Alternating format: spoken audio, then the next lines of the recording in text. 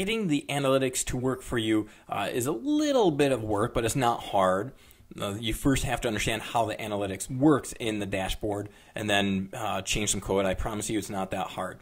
So the way that the analytics work is once you have several courses in the dashboard uh, and you go to analytics and then graph the analytics. So the way that analytics work is there's two tabs that are hidden, and if you go to uh, view hidden sheets, you might actually have four tabs, and you'll see why in a minute. But let's look at the design analytics. This is the left column, and this is the template. So the template lists all the standards. So on the ID perspective, there's 37 OSCQR standards from Open SUNY, and then there's 30 campus level standards, and those are by default hidden in the tabs, but but they, they are there in the rubric. And then we have the same for the faculty, 37 SUNY standards, and then 30 campus ones, and the same thing for the reviewer. So there's all the analytics from the rubric, and then these three charts right here tally up all the responses, and that's what the graphs are based off of. So what happens when you choose, when you run design analytics, is this software will go through all the courses that you see, and then it will pull all the information from them and populate it in these columns.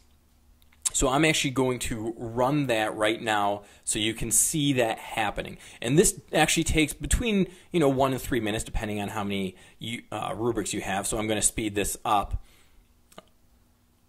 But I want you to see how it's populating. And uh, the other thing you need to know before I do that is that it doesn't actually do it on this tab. And uh, recall that there is no design tab, but it will take a carbon copy of this sheet and then add all the rubrics in there.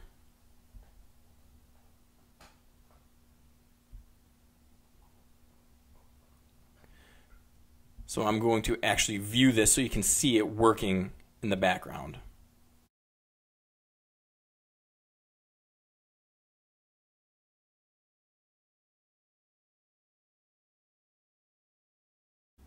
All right, so that actually took about two minutes, which is why uh, we usually run it at night automatically for you.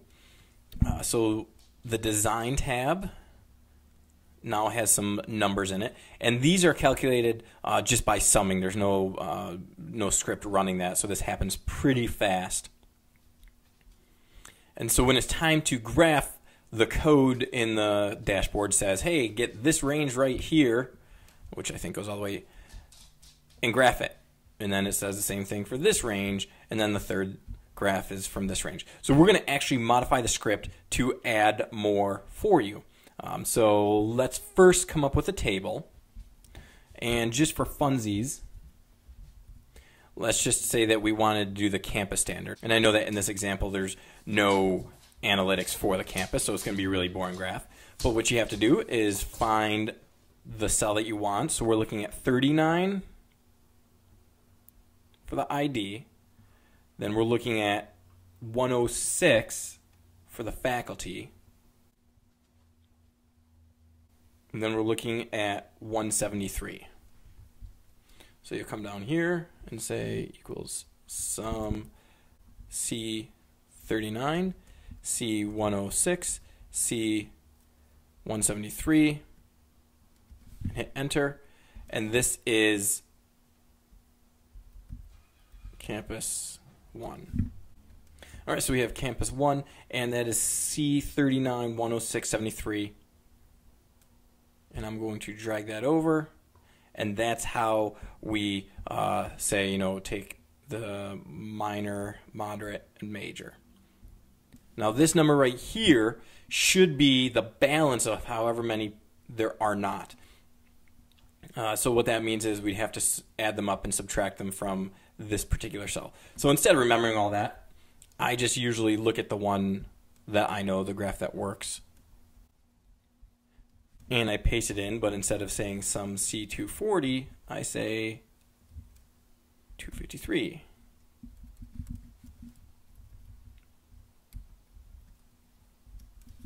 So essentially what this does is it will add this particular cell will add up however many ones there are here, or twos or threes, and subtract it from 24. Now, uh, for demonstrative purposes, I'm actually going to put some data in here.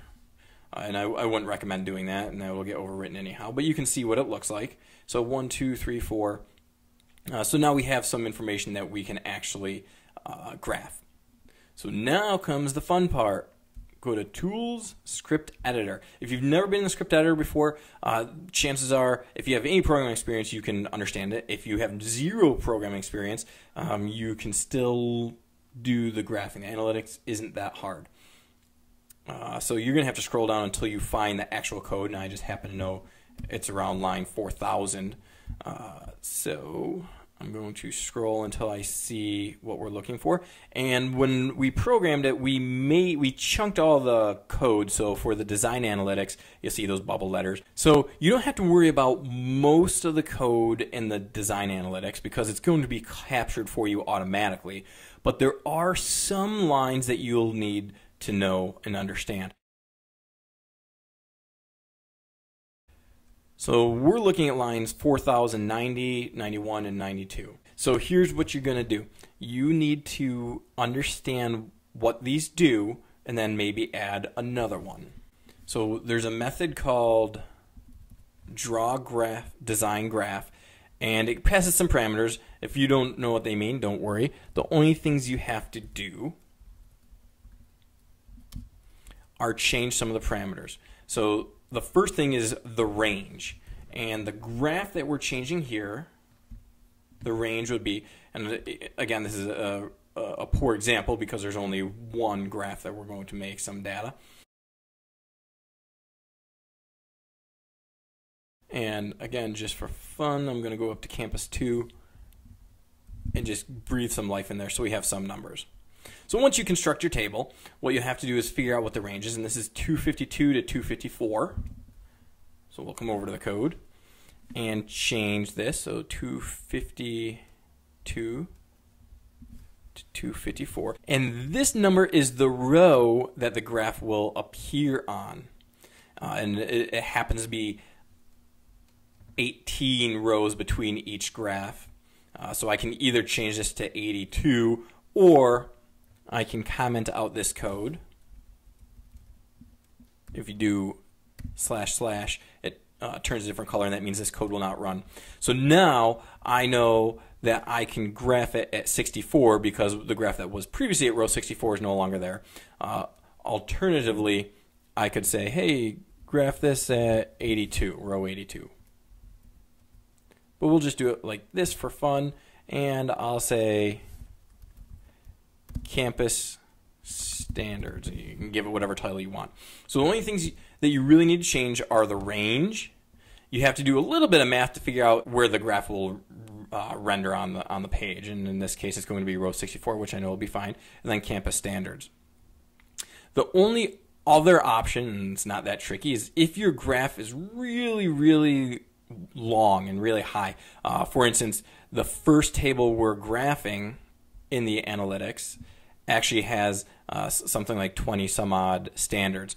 And so it wasn't sufficient to have a small graph, and I needed to make it a little bit longer. So what I did is I added a new method called draw design graph height, and it takes an extra parameter. So this is 850 pixels, and I didn't know what number that was. I you know tried 600 and it wasn't long enough. I tried 2,000, it was too long, so I you know settled in on 850.